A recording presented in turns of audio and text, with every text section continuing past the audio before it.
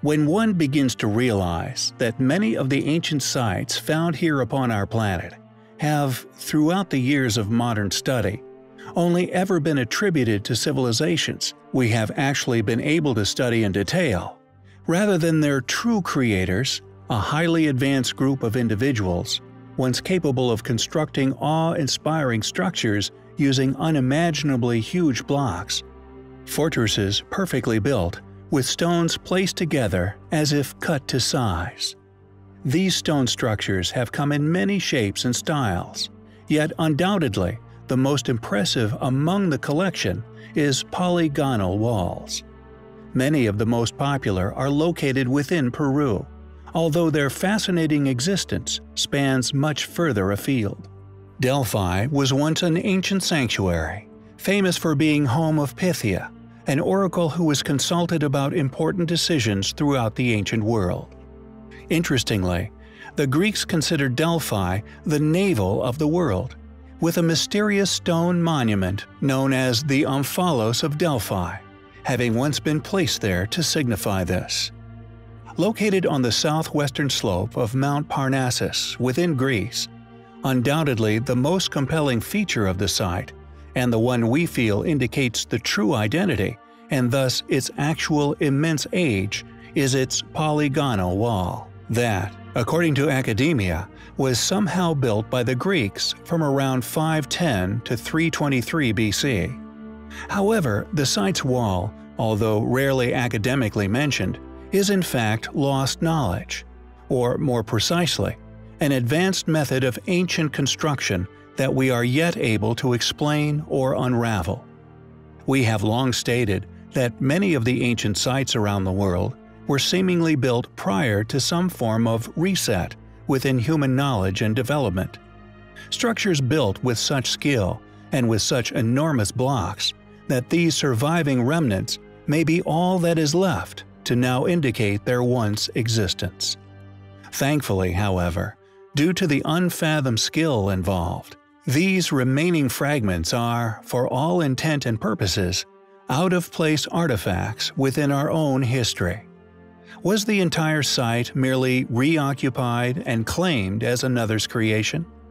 A claim conveniently allowing academics to avoid appearing out of their depth.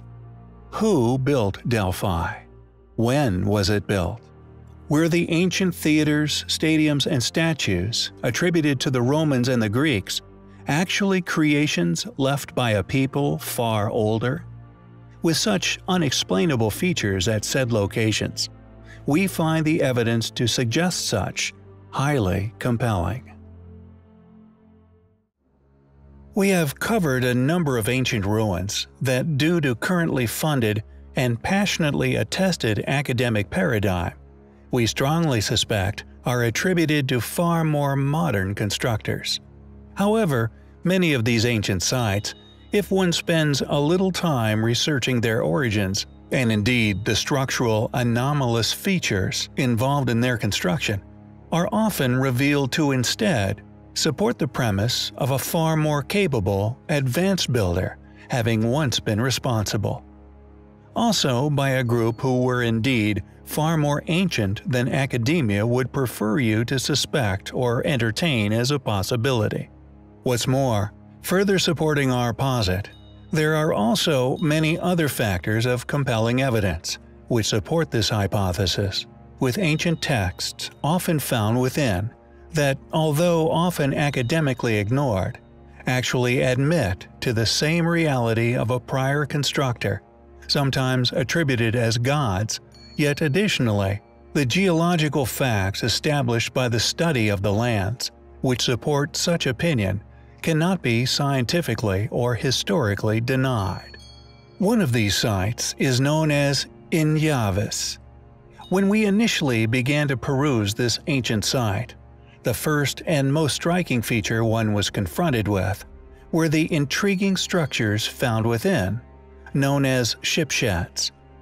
We have often postulated that the Greeks, and especially the Roman Empire, not only stole, or more precisely borrowed, a lot of ingenious inventions from a much older, far more advanced civilization, But it seems that Oiniades is another site which could, in all possibility, further support this posit.